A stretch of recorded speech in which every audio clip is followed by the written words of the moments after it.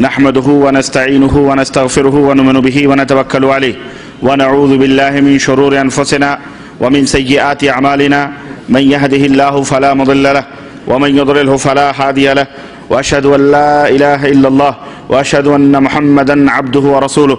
أما بعد فإن خير الحديث كتاب الله وخير الهدي هدي محمد صلى الله عليه وسلم وشر الأمور محدثاتها وكل محدثة بدعة وكل بدعة ضلالة وكل ضلالة في النار. قال الله تبارك وتعالى في كلامه المجيد أعوذ بالله السميع العليم من الشيطان الرجيم. بسم الله الرحمن الرحيم. هو الذي أرسل رسوله بالهدى ودين الحق ليظهره على الدين كله وكفى بالله شهيدا. محمد رسول الله والذين معه أشداء على الكفار رحماء بينهم تراهم ركعا سجدا يبتغون فضلا من الله يبتغون فضلا من الله ورضوانا سيماهم في وجوههم من أثر السجود مثلهم في التوراة ومثلهم في الإنجيل كزرع أخرج شطأه فآزره فاستغلظ فاستوى على سوقه يعجب الزراع ليغيظ بهم الكفار. وعد, وعد الله الذين آمنوا وعملوا الصالحات منهم مغفرة وأجرا عظيما. اللهم صل على محمد وعلى آل محمد كما صليت على إبراهيم وعلى آل إبراهيم إنك حميد مجيد. اللهم بارك على محمد وعلى آل محمد كما باركت على إبراهيم وعلى آل إبراهيم إنك حميد مجيد. تمام قسم کی حمد و ثنا کبریائی اور بڑائی اس اللہ عز و جل کے لیے لائق و زیبہ ہے، جس نے ہمیں اور آپ کو پیدا فرمایا اور بیش بہا درود و سلام اس ذات مبارکہ مقدسہ پر جو ساری کائنات کے لیے رشد و ہدایت بنا کر کے بھیجے گئے۔ برادران اسلام، نوجوان دوستوں بزرگوں اور بھائیوں، آج بتاریخ پچیس جماعت ثانی چودہ سو بائیس ہجری مطابق تیرہ ستمبر سن دو ہزار ایک عیسوی کو مکتب توحید الجالیات السفرہ کی طرف سے جو یہ عظیم الشان اجلاس منعقد ہوا ہے۔ اس اجلاس میں جس موضوع پر میں لب کشائی کرنا چاہتا ہوں، وہ موضوع ہے مقام صحابہ رضوان اللہ علیہ مجمعین قرآن و سنت کی روشنی میں۔ حضرات، اس موضوع کے بیان کرنے کی غرض و غایت کیا ہے؟ اس موضوع کو کیوں منتخب کیا گیا؟ اس موضوع کے سننے کے فوائد کیا ہیں؟ آئیے مختصر طور پر چند نکات میں میں آپ کے سامنے یہ باتیں رکھوں۔ اس موضوع کو بیان کرنے کا مقصد یہ ہے تاکہ امت محمدیہ صلی اللہ علیہ وسلم کے اولین کتاب و سنت کے حاملین قرآن و احادیث کے اولین عاملین، ان کے مقام اور مرتبے کا علم آنے والی نسلوں کو حاصل ہو۔ کہ ان کا مقام و مرتبہ کیا ہے۔ نمبر دو، صحابی کس کو کہتے ہیں؟ اس کا بھی علم حاصل کرنا اس امت کے لیے ضروری ہے۔ نمبر تین، صحابہ کی شان اور ان کی عظمت کا تذکرہ کرنا اور ان کے نقش قدم پر چلنے کی دعوت دینا۔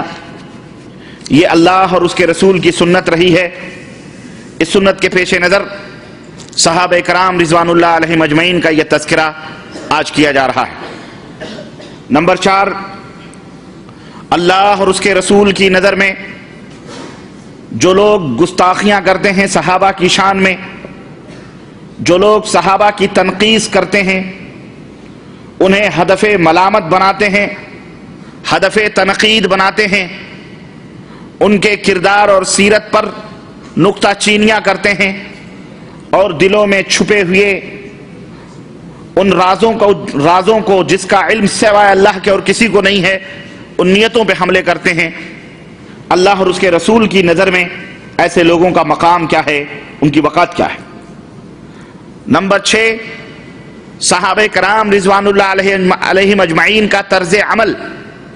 جب وہ قرآن کریم سنتے تھے، جب وہ نبی کریم صلی اللہ علیہ وسلم کی احادیث سنتے تھے، تو ان کا طرز عمل کیا ہوتا تھا؟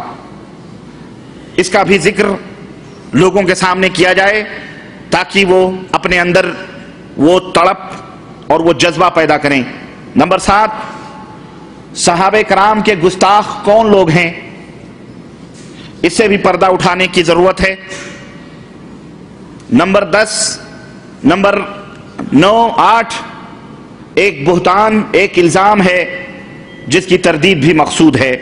اور اس کے علاوہ انشاءاللہ تبارک و تعالی اور بہت سارے مقاصد ہیں جو انشاءاللہ آپ سماعت فرمائیں گے۔ سب سے پہلی بات تو یہ ہے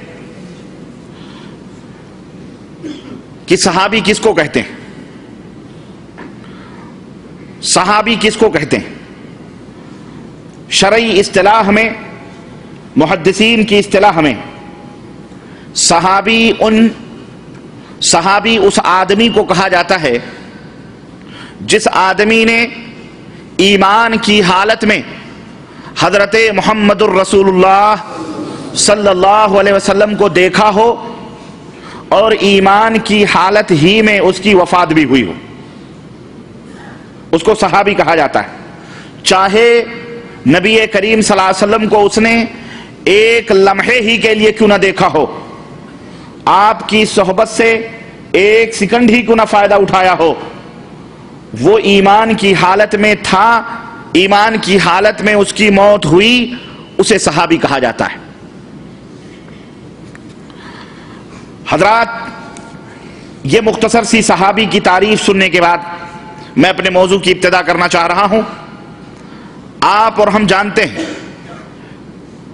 کہ اللہ عز و جل کا پیغام لے کر اس کائنات میں جتنے بھی انبیاء اور رسول آئے ہیں، سب کا ایک ہی دین تھا اور وہ دین اسلام تھا۔ حضرت آدم سے لے کر حضرت عیسیٰ علیہ السلام تک جتنے بھی انبیاء اور رسول آئے، سب ایک ہی پیغام، اسلام کا پیغام لے کر کے آئے۔ اور یہی اسلام جب ہمارے آخری نبی، خاتم النبیین حضرت محمد الرسول اللہ صلی اللہ علیہ وسلم لے کر آئے یہ آخری دین، آخری نبی لے کر کے جب اس دنیا میں آئے، تو اللہ عز و جل نے اس آخری دین کے ساتھ ایک بات یہ بیان فرمائی کہ انا نحن نزلنا الذکر و انا له لحافظون۔ ہم اس دین کو، اس اسلام کو نازل کر رہے ہیں، اس شریعت کو اتار رہے ہیں اور ہم ہی اس کی حفاظت کی ذمہ داری بھی لے رہے ہیں۔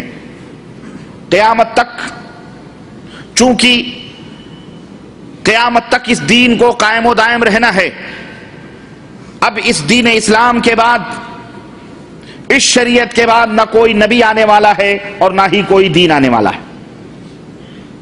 اس کی حفاظت کی ذمہ داری اللہ عز و جل نے اس لیے لی کہ پچھلے لوگوں کو جو دین اسلام دیا گیا تھا